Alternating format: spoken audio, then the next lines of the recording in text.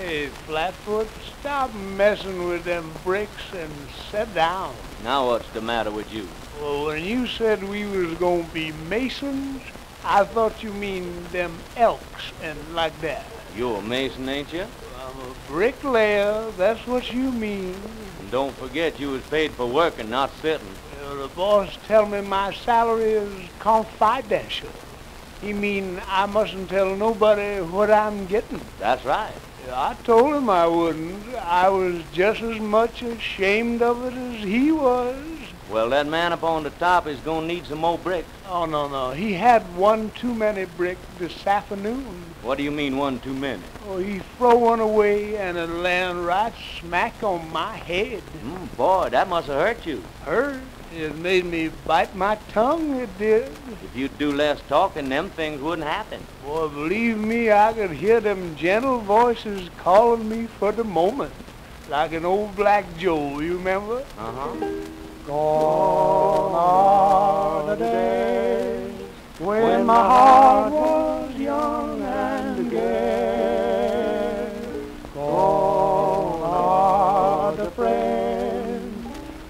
the cotton fields away.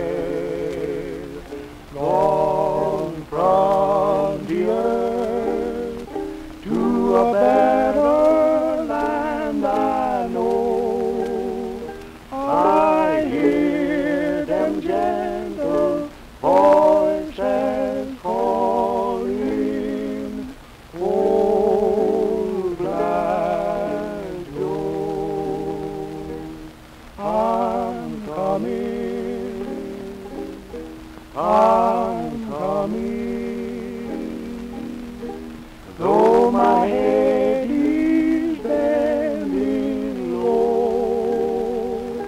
I hear them